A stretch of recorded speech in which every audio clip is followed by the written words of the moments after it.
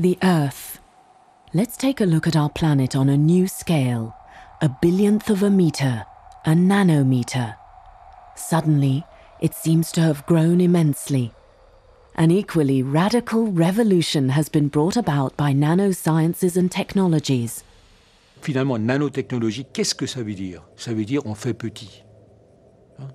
Donc, c'est un domaine tellement vaste. Ça veut dire ça. Nanotechnologie, on fait de la technologie au niveau très petit. Ça peut être de la chimie, ça peut être de la physique, ça peut être de la biologie, ça peut être des matériaux, ça peut être du médical, ça peut être un tas de choses. Donc après tout, c'est un concept tellement vaste qui fait de tort à personne de le pousser. Et donc, allons-y. The distance between the moon and the earth on the order of a billion meters, a day's travel.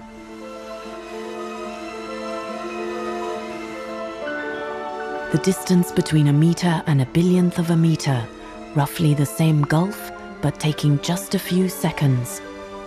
Now we're heading deep into the world of nanoscience, down to the dimension of an atom.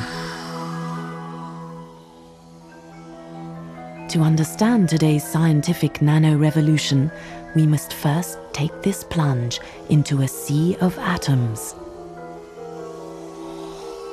New landscapes, new sensations, this hidden world surrounds us at all times on every side. Each white ball is a cloud of electrons concealing an atomic nucleus. You're about to discover how scientists have reached this frontier, the land of the atom, and opened up an infinite new field of research and practical applications.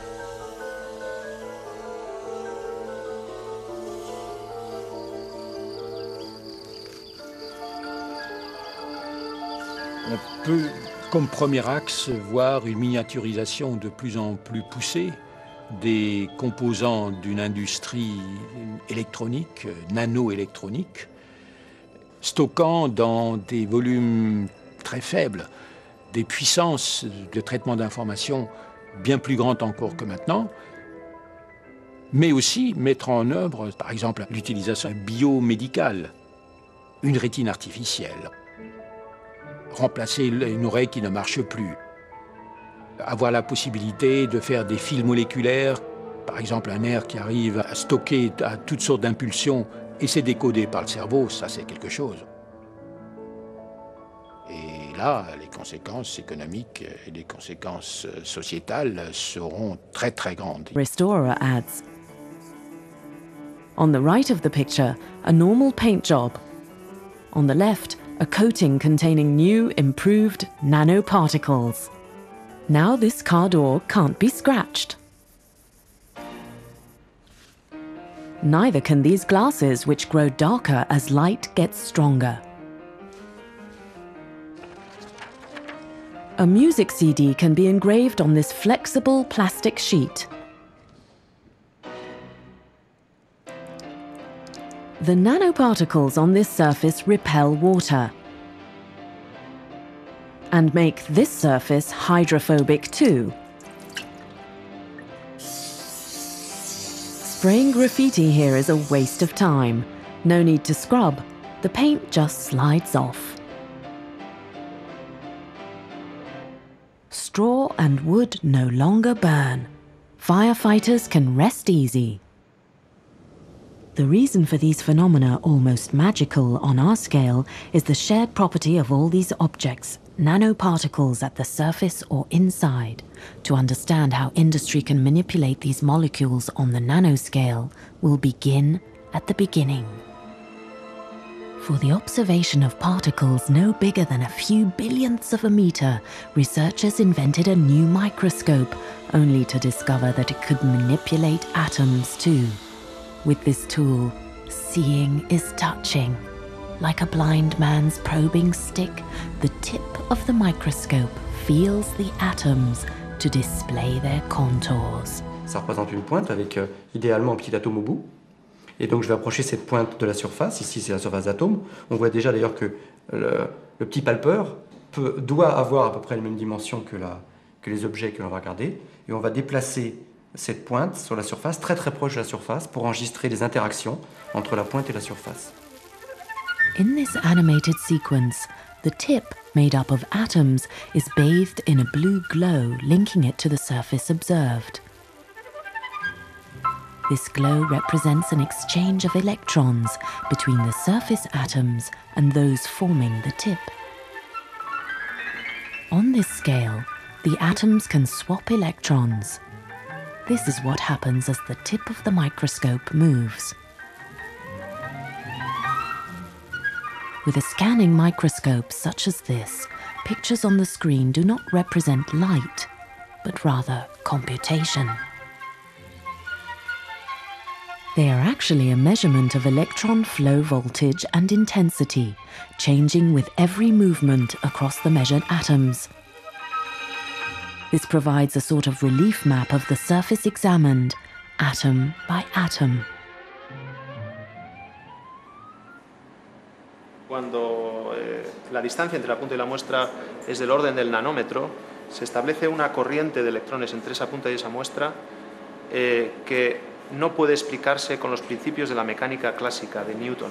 Solamente puede explicarse con los principios de la mecánica El cuántica. principio básico es el que, básicamente un principio de mecánica cuántica, que no existe. Es decir, si tú tienes un espacio vacío y aplicas un potencial, en principio no hay corriente, salvo que al acercarse, al acercarse la punta a la muestra tengas solape entre lo que es la, la- la función de onda de la muestra y la de la, y la de la punta, y entonces se produce una corriente túnel, que depende de la distancia entre ellas. Y eso es un efecto únicamente mecánico cuántico. To sum up, we think of atoms as spheres, but in fact they're made up of a nucleus surrounded by a number of electrons in orbit. No surprises there. However, brace yourself for a shock. No scientist can say with certainty where an electron will be at any given moment. In fact, an electron doesn't revolve around a nucleus on a fixed orbit like a satellite around a planet. Instead, it may be at any point around the nucleus at any given time. It's as if it were everywhere at once, forming a sort of electronic cloud, a sphere, in fact. This is one of the basic consequences of quantum physics. From time to time, an electron may happen to move a little further from its nucleus than usual. Since there's necessarily another atom close by on this scale, the electron sometimes finds itself in the cloud of electrons of this other atom, having broken through the barrier that held it around its own nucleus. This electron transfer is what we call the tunnel effect. It explains a large number of physical phenomena and finds an important application in the scanning tunneling microscope. For example, it can move them or tear them away. By generating a stronger electron flow through the tip of the microscope, a given atom can be attracted. This tool that can feel matter and thus give us an image can also sculpt it.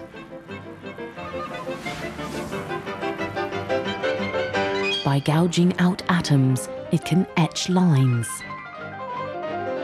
Or more complex patterns to build electronic circuits, for instance.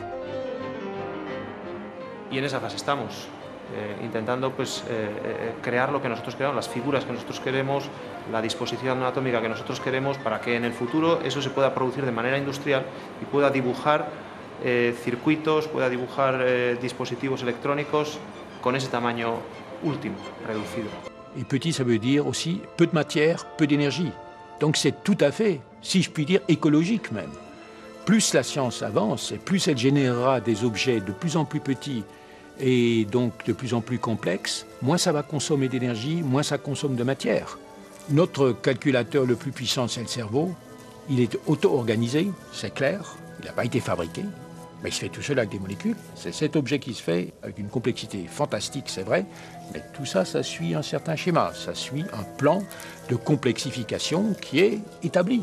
Je vous cause, je suis connecté, le cerveau, il contrôle ma voix, en même temps, je vous vois, je vous entends, donc il est autoconnecté. Donc la matière a réussi à produire quelque chose qui est l'ordinateur le plus puissant qui existe, qui est un ordinateur qui, qui s'auto-organise, qui s'auto-connecte. Donc c'est possible, puisque ça existe. especially since this nano world seems to offer an unending stream of potential applications, from brighter light bulbs that use less electricity and high capacity batteries that charge a hundred times faster to nano capsule enclosed drugs that go straight to their target in the body. However far these nanotechnologies must travel to reach us, they will soon be as common and vital in our lives as sliced bread. L'Europa ha avuto un ruolo primario nello sviluppo delle nanoscienze e nanotecnologie. Lo si può desumere dal numero di pubblicazioni negli ultimi anni. È stata in testa eh, rispetto a tutti gli altri paesi industriali avanzati. E tuttavia altri paesi adesso entrano nell'arena e investono moltissimo. L'Europa se vuole mantenere una leadership o comunque un ruolo primario deve investire di più in uomini e in risorse materiali. Thank you.